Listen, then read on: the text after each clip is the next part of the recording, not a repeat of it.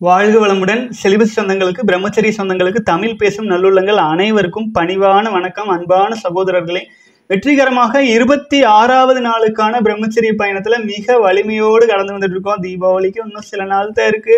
சகோதரர்களே ரொம்ப சேஃபா இருங்க. ரொம்ப ரொம்ப பத்திரமா இருங்க. அருள் காப்பு சங்கல்பங்கள் முத்திரை பதித்தல்கள் எல்லாம் போட்டு பத்திரமா உங்கள் உடலையும் உயிரையும் பாதுகாத்து நாம் அடுத்த இந்த பிறவியிலேயே நாம் முழுமையடைவதற்கான எல்லா முயற்சியும் எடுக்க வேண்டும்னு பணிவோடு கேட்டுக்கிட்டு நேற்றைய தினம் சித்தர் பாடல்களை பார்க்க முடியாததுனால இன்னைக்கு கொஞ்சம் வேகமாக கேள்வி பதிலுக்குள்ள போயிடலாங்க வாழ்க வளமுடன். பிரதர் குண்டலினி சக்திக்கும் உயிர் சக்திக்கும் என்ன டிஃப்ரெண்ட் இருக்கு? உயிர் சக்தி தான் குண்டலினியா? சிலர் குண்டலினி சக்தியை லைஃப் ஃபோர்ஸ்னு சொல்கிறாங்க லைஃப் ஃபோர்ஸ்னா உயிர் சக்தி. I have little bit doubt brother please clarify உயிர் சக்தி குண்டலினி சக்திக்கு எந்த அளவு முக்கியம்னு சொல்லுங்கள் அதாவது இப்போ என்ன பிரச்சனைன்னு கேட்டிங்கன்னா நம்ம பிரம்மச்சரியத்தை பற்றி ஒழுக்கத்தை பற்றி எல்லாம் பேசும்போது சிலர் வந்து என்ன பண்ணுவாங்கன்னா டெஸ்டாஸ்டரோன் அப்படின்னு என்னவோ ஆங்கில ஆங்கிலத்தில் வெள்ளைக்காரன் என்னவோ எழுதி வச்சுருப்பான். ஆச்சுங்களா? வணிக மருந்துகளை விற்பனை செய்வதற்காக. ஒரு புது பிரச்சனையை உருவாக்குவாங்க. அதுக்கப்புறம் அந்த பிரச்சனையை தீர்த்து வைக்கிற மாதிரி முன்னாடி வந்து இது எல்லாம் அப்படியே டிப்டாப்பாக யூனிஃபார்ம் போட்டு முன்னால் வந்து சொல்யூஷன் தரேன்னு சொல்லுவாங்க. அப்புறம் சொல்யூஷன் தரேன்னு சொல்லிட்டு அதுக்கு தகுந்த க மருந்துகளை கொடுப்பாங்க. அந்த மருந்து சாப்பிட ஆரம்பித்தோம்னா அதன் மூலமாக வர்ற பக்க விளைவுகளுக்கு அவங்களே உட்காந்து மருத்துவமும் பார்ப்பாங்க. இதுதான். இந்த மாதிரி வந்து வணிக ஆங்கில விஷயங்களை கொண்டு வந்து இதுக்குள்ளே திணிக்கவே வேண்டியதில்லை. ஏன்னா வெறும் ஒரு முந்நூறு நானூறு வருட இது கூட கிடையாதுங்க அதெல்லாம். சரிங்களா? ஆனால் பல ஆயிரம் வருட கலாச்சாரத்தில் இருந்த நம்ம ஏன் ஆங்கில வார்த்தைகளோடு லைஃப் ஃபோர்ஸ் அப்படின்னா அவனை இன்னும் அர்த்தம் வச்சிருப்பான். அதை பற்றி நீங்கள் யோசிக்கவே வேண்டியதில்லை. நாமளாக நினச்சிக்குவோம் ஓ இது உயிர் சக்தி அப்படின்னு. ஆகவே நீங்கள் அதுக்குள்ளேயே போக வேண்டாம். நீங்கள் நம்மளோட தமிழ் மொழியிலேயே பேசுங்க தமிழ் மொழியிலேயே பார்ப்போம். அதாவது குண்டலினி சக்தி அப்படிங்கிறது வந்து அது வந்து பார்த்தீங்கன்னா இன்னர் சயின்ஸ் புரிஞ்சுதுங்களா? நமக்குள்ளாக இருக்கும் அறிவியல். இது உலகத்துல எந்த நாட்டிலையுமே கிடையாது. எல்லாம் நம்மளை காப்பி அடிச்சு தான் எடுத்துட்டு போயிருக்காங்க. புரிஞ்சதுங்களா? நம்ம சித்தர் பாடல்கள்ல சித்தர் நம்முடைய குரு வழிமுறை பரம்பரை வழிமுறையாக சொல்லி கொடுத்ததுதான். பாபாஜி அப்படின்னு நம்ம சொல்லுவாங்க நார்த் இந்தியாவில் பாபாஜிக்கே கடைசியில் பார்த்தீங்க அப்படின்னா நம்முடைய போகர் தான் குருவாக இருந்திருப்பாரோ அப்படின்ட்டு அவரோட வாழ்க்கை ஹிஸ்ட்ரியிலேயே வரும் பார்த்தீங்கன்னா எல்லாம் இங்கிருந்து போனதுதான். ஆச்சுங்களா? நீங்கள் எங்கேயோ ஆன்மீகத்தை பொறுத்தவரை ஆன் ஆன்மீகத்தின் அமெரிக்கா அப்படின்னா அது தமிழ்நா தமிழ் தான் தமிழ் மொழியும் சித்தர்களும் தான்.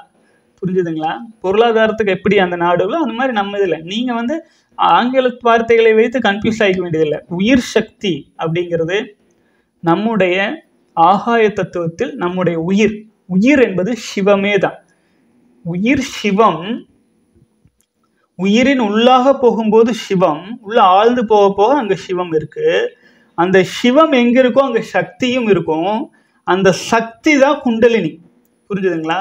அதாவது இது தவத்துக்கு நான் சொல்கிறேன் சாதாரண நிலையில் பார்த்தீங்கன்னா உடலுமே சக்தி தான் நம்மளே சக்தி தான் சக்தியின் வெளிப்பாடு தான் நாமளே. ஆச்சுங்களா? ஆனால் நமக்குள்ளாக உயிராக இருப்பது அந்த சக்தியை ஆண்டு உணர்ந்து அனுபவித்து கொண்டிருப்பது சிவம். ஆச்சுங்களா? உயிர் தான் உடலை விழுங்கி கொண்டு இருக்கிறது உயிர் உடலை காந்தமாக விழுங்கி கொள்ளாது இருந்தா இந்த கையை வெட்டினா கூட உங்களுக்கு தெரியாது. சக்திக்கு பாதுகாப்பு கொடுப்பதே சிவம். ஆச்சுங்களா அதனால தான் ஆண்களை ஆண் என்றும் பெண்களை பெட்டுன்னு சொல்லுவாங்க. பெட்டு அப்படின்னா ஆண்களுக்குள் அடங்கியவள். அடங்கி இருக்கணும் அப்படிங்கிற ஏன்னா உயிர் வந்து இந்த விரலுக்கு மட்டும் இல்லைன்னா என்ன ஆகுங்க? நம்மளுக்கு இதை கட் பண்ணி இதில் மேக்கப் எல்லாம் போட்டு என்ன வேலை வேணாலும் பண்ணிடுவாங்க. முடி முடிக்கு வந்து பார்த்தீங்கன்னா உணர்வு இல்லை அப்படிங்கிறதுக்காக என்ன மேக்கப் என்ன டிசைன் எப்படியெல்லாம் பண்ணுறாங்க இல்லைங்க ஐப்ரோ ட்ரிம் பண்ணுறது என்னென்னமோ பண்ணுறாங்கல்ல அது மாதிரி தான் எங்கே உயிர் வந்து தன் முழுமைத்தன்மையோடு உறுதியோடு இல்லாமல் இருக்கோ அந்த இடத்தெல்லாம் நம்ம வந்து கொலாப்ஸ் தான் பண்ணிடுவோம் மொழி அதை வச்சு நம்ம நல்லா வாழவே மாட்டோம். மனுஷனுக்கு வந்து எதையுமே நல்லா வ- வச்சுக்கணும் அப்படிங்கிற அளவுக்கான உச்சகட்ட பரிணாம வளர்ச்சி இன்னும் மனித இனம் ரீச் ஆகலை. ஆச்சுங்களா? அப்படி ரீச் ஆயிரணுங்கிறதுக்காகத்தான் நம்முடைய யோக பயிற்சிகள் எல்லாமே. ஓகேங்களா குண்டலினி நீங்கள் உண்மையிலேயே குண்டலினி சக்தியை ஆக்டிவேஷன் செய்யணும். நம்ம பயிற்சிகள்லாம் கொடுத்துருக்கோம். ஆக்டிவேஷன் ஆகணும்னா நீங்கள் பிரம்மச்சரியத்தில் ஆழ்ந்து இருந்தீங்கன்னா மட்டும்தான் முழுமையான குண்டலினி சக்தியின் இயக்கத்தை உணர்வீங்க. இல்லையா உணர்வு தெரியும். தவம் பண்ணும்போது பொட்டு வைக்கிற இடத்துல பொட்டு பொட்டு வச்சா அந்த இடத்துல ஒரு புருவுறுப்பு இருக்கும் பார்த்தீங்களா அந்த உணர்வு மட்டும் அவங்களுக்கு கிடைக்கலாம். ஆனால் ஆழ்ந்த குண்டலினி உணர்வு எப்போ கிடைக்கும்னா பிரம்மச்சரிய நாட்கள் அதிகரிக்க அதிகரிக்க அதிகரிக்க தான் கிடைக்கும். எவன் ஒருவன் ஒழுக்கத்தில் நிலைச்சிருக்கானோ அவங்களுக்கு தான் சிவத்தையும் சக்தியையும் உணரவே முடியும். உயிர் சக்தி அப்படிங்கிறது பிரம்ம உயிர் சக்தி வந்து பார்த்தீங்க அப்படின்னா நம்ம உடலில் உணர்வுகள் வழியாக மனம் வழியாக பல்வேறு விதங்களில் வேஸ்ட் ஆகிட்டே இருந்துச்சுன்னு வைங்களேன். விந்து சக்தி வழியாக வேஸ்ட் ஆகிட்டே இருந்துச்சுன்னா நமக்குள்ளாக அதனை வந்து கவனிக்க முடியாது. அழுத்தம் குறைஞ்சிரும். புரிஞ்சுதுங்களா? நம்ம எப்போ பிரம்மச்சரியத்தில் நிலச்சி ஆற்றலெல்லாம் விரயம் செய்யாது நமக்குள்ள கண்டென்ஸ்டாக தவ நிலையில் நிலச்சிருக்குமோ அப்போது அபரிமிதமான குண்டலினி சக்தியின் ஆக்டிவேஷனை நம்மளே பார்க்கலாம். எனக்கு வந்து சிலர் வந்து பார்த்தீங்கன்னா மிகப்பெரிய அளவில் தன்னை வந்து ஆன்மீகத்தில் உச்ச நிலச்சிருக்கிறவங்க தான் பேசிகிட்டு இருக்கிறவங்கெல்லாம் சிலர் பார்க்கும்போது காமெடியாக தான் இருக்கும். என்ன சொல்லுவாங்கன்னா குண்டலினியெல்லாம் ஒன்றும் கிடையாது. குண்டலினியெல்லாம் ஒன்றுமே கிடையாது. அப்படின்னு ஒரு குரூப் சும்மா இருக்கிறதா? சும்மா இருக்கிறதா? அப்படின்னு சொல்லிட்டு ஒரு குரூப் இன்னொரு குரூப் என்ன பண்ணுறாங்க குண்டலினி தான் பெருசு. வாசி யோகம் தான் பெருசு. மூச்சை போட்டு உறிஞ்சு உறிஞ்சு நுரையீரலெல்லாம் காய வச்சு அப்படியே எண்ணெயில் பொறிச்சு சாப்பிட்றோன்னு காத்தே வரக்கூடாது வெளியில். அப்படின்னு ஒரு குரூப் ஆச்சுங்களா? இதில் என்ன காமெடி கேட்டிங்கன்னா எல் எவன் ஒருவன் பிரம்மச்சரியத்தில் ஒழுக்கம் இல்லாது இருக்கிறார்களோ அதன் அருமை தெரியாமல் இருக்கிறாங்களோ இப்படிதான் ஆயிரும். ஆச்சுங்களா?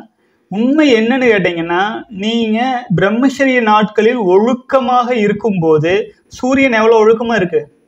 தன்னை டெய்லி உதயமாயிட்டே இருக்கு மறைஞ்சிட்டே இருக்கு. நிலா எப்படி ஒழுக்கமா இருக்கு? ஆச்சுங்களா? பஞ்சபூதங்களும் தன்னுடைய நிலை மாறாது எப்படி கரெக்டா இருக்கு? இயக்க உலக இயக்கங்கள்.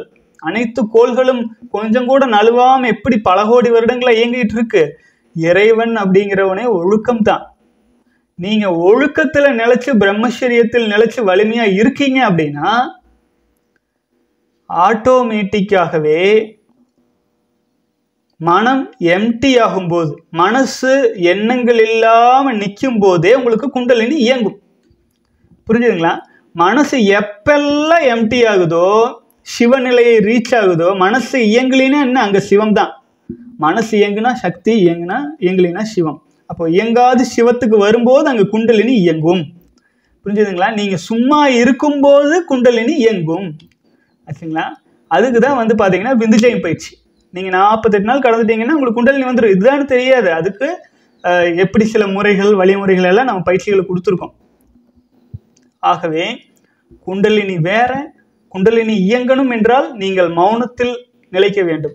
நீங்கள் மௌனத்தில் நிலைச்சு பிரம்மச்சரியத்திலையும் இருக்கீங்கன்னா குண்டலினி இயங்கும். அதுக்கு சரியான பாதையை மட்டும் எப்படிங்கிறது காட்டணும். ஒரு சிலருக்கு இயல்பாக இருக்கும். ஒரு சிலருக்கு பாதையை வந்து நம்ம காட்ட வேண்டிய அளவுக்கு உடல் அளவிலும் உணவளவிலும் நம்மை நம்ம கெடுத்து வச்சிருக்கிறதுனால அந்த வேலைகளை கொஞ்சம் செய்ய வேண்டியதாக இருக்குது ஆகவே உயிர் சக்தி இருந்தால் தான் அங்கே குண்டலினியே வேலை செய்யும். எங்கே சிவம் இருக்கோ அங்கே தான் சக்தி இயங்கும். ஆகவே உயிர் உயிர் அப்படிங்கிறது நமக்கு வந்து பார்த்திங்கன்னா சிவமே தான் உயிரின் மையத்தில் ஆழத்தில் சிவமே தான் ஆகவே அதிலையும் நீங்கள் மனதையும் எம்டியா வைக்கணும்.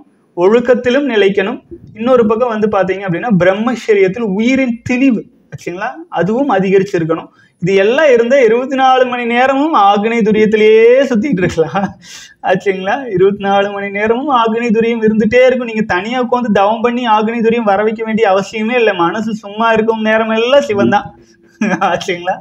அந்த மாதிரி இருக்கும். ஆகவே பெருசாக குழம்பிக் கொள்ள வேண்டியதில்லை. வெளியில் இருக்கிற விஷயங்களை ரொம்ப ரிசர்ச்சுக்கு எடுத்தாலே ஆற்றல் விரயம் தான். அதுவும் ஆற்றல் விரயம் தான். அதுதான் நான் வந்து நான் தமிழ் நூலகம் வந்து நம்ம சொல்லியிருப்போம். அதுக்கு தனியாக இப்போ யூடியூப் சேனல் கூட தனியாக இயங்கிட்டு இருக்கு. அங்கே அதில் வந்து பார்த்தீங்க அப்படின்னா ரொம்ப கஷ்டமாக புரிஞ்ச முடியாத நம்ம சாதாரணமாக உட்காந்து படித்தோம்னா நம்மளால் ஒரு நாலு பக்கம் படித்தா கூட நமக்கு வந்து தலை வலிக்கிறதுக்கு ஆரம்பிக்கும். இல்லை புரியாது. அந்த வார்த்தைகள் பழைய காலத்து வார்த்தைகள் இருக்கும். அதையெல்லாம் தெளிவாக படிக்கிறதுக்கு தனி டேலண்ட் வேணும். அதை வந்து கரெக்டாக படிக்கிற மாதிரி ஒரு ஆள் கிடச்சிருக்காங்க. நான் அவங்கள வச்சு இதெல்லாம் படிங்க அப்படின்னு சொல்லி அந்த புத்தகங்களை மட்டும் ரேரஸ்ட் ரேர் புத்தகங்களாக இருக்கிற புத்தகங்கள். அதுவும் நம் முன்னோர்கள் சொன்ன கல்வி முறை வழியாக வந்த புத்தகங்களை எல்லாம் நம்ம வந்து தமிழ் நூலகத்தில் வந்து ஆடியோ புக்காக மாற்றிட்டு இருக்கோம். இந்த நாக்கு வாய் கூட நம்ம எடுத்து வாயில் போட்டால் தான் சுவாசம் கூட நம்ம போய் சுவாசம் வந்து இது குறிப்பிட்ட விஷயத்தை நுகரணும்னு நினச்சி போனோம்னா தான் அது நுகருவுமே. இல்லைன்னா ரொம்ப தூரத்துக்கெல்லாம் நுகர மாட்டோம். அதே சமயத்தில் கண்களும் கண்ணை மூடிட தெரியாது. ஆனால் காது மட்டும் இருபத்தி நாலு மணி நேரம் ஓப்பன்லேயே இருக்குது நீங்கள் ஒரு கிலோமீட்டருக்கு அந்த பக்கம் வர்ற சவுண்டை கூட இந்த காதுனால கேட்க முடியுது. ஏன்? காது ஓப்பனில் இருக்குது செல்வத்துள் செல்வம் வந்து செவிச்செல்வம் தான். அந்த செவிக்கு செவிக்குணவு இல்லாத போது சிறிதளவு வயிற்றுக்கும் ஈயப்படும் திருவள்ளுவர் சொல்லியிருப்பார். அதனால ஆடியோ புக்காக மாற்றிட்டோம்னா கண்ணை மூடிட்டு நீங்கள் கேட்டுகிட்டே இருந்தீங்கன்னா பல முக்கியமான விஷயங்கள் நமக்குள்ளே போயிட்டே இருக்கும். அப்படியே தூக்கம் வந்தால் கூட தூங்கிடலாம் நல்லது. ஆச்சுங்களா அதனால தான் நம்ம ச- சகோதரர்கள் கொடுக்குற ஃபீஸ் எல்லாம் வச்சு நம்ம ஒரு சிலருக்கு சம்பளம் கொடுத்து இந்த விஷயங்கள்லாம் பண்ணிகிட்டு இருக்கோம். அதெல்லாம் நீங்கள் பயன்படுத்தி கொள்ள வேண்டும் அப்படின்னு நான் சொல்கிறேன் அது உயிராற்றலை விரயம் செய்யாது ஞானத்தை அதிகப்படுத்தி கொள்ள உதவும் நம்ம குண்டலினி பற்றி பேசுறதுனால குண்டலினி சக்தி உண்மையிலேயே இயங்க வேண்டும் என்றால் உண்மையிலேயே உணர்வு இருக்க வேண்டும் என்றால் நீங்கள் வந்து பிரம்மசரீரத்தில் இருந்தால் தான் கிடைக்கும் அப்படிங்கிறது.